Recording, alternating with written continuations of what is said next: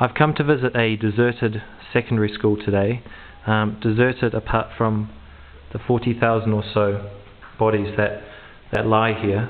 Um, these people were told back in 94 to come by the local authorities to here for safety, but unfortunately were killed in about two days. Um, this is a room of children. Um, many of the bodies have been preserved um, for the public to see.